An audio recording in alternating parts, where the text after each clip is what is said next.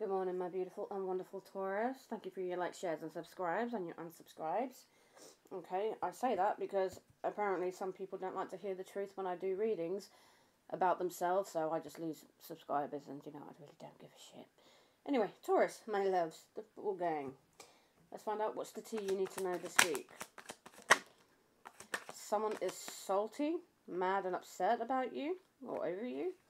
You got groupie, so someone who can't be alone always has to partner up with someone, tagging along just for the sake of it. Oh, crap. You got a groupie, Taurus. Someone who just doesn't want to leave you alone. Feeling stalker vibes.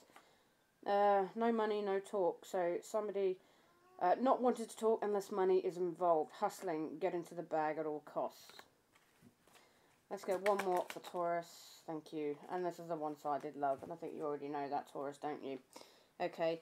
Somebody is just out for the money situation. Although this person can't leave you alone, but they're, they're salty. They're mad and upset with you.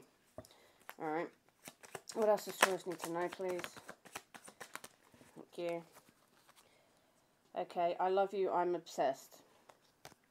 This is that one-sided love. You may not love this person, okay? Could be because they just won't give you breathing space. Alright, they hacked and tracked your phone. Uh, they're losing their patience. I wonder if you're dealing with an Aries or, you know, a fire sign. I won't let you be happy, and that is from their karmic. If they've got a karmic in their life, someone else who they're dating, they're not going to allow you to be happy, Taurus.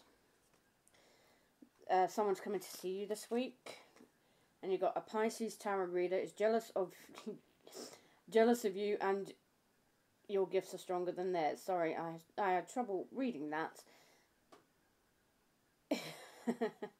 because there is a Pisces tarot reader out there.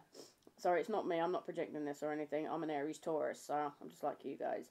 But there is a Pisces tarot reader out there who is very jealous of you, Taurus, because your gifts are a lot stronger than theirs, and they're actually a self-taught tarot reader. They have no gifts whatsoever, even though they'll say in their readings, "I'm hearing this, that, and the other." That's bollocks. Okay. Okay. Uh, somebody wants you to text them now. Okay, let's see who you're dealing with before I get on to Gemini. Ugh, my apologies, I have got a stinking cold right now. Both me and Boss Baby number four, we've got temperatures, we're very sick. That's because we've got no heat in our bedroom. Right, Taurus, who are you dealing with? Who are you dealing with? You've got Capricorn in the reverse. The moon in reverse.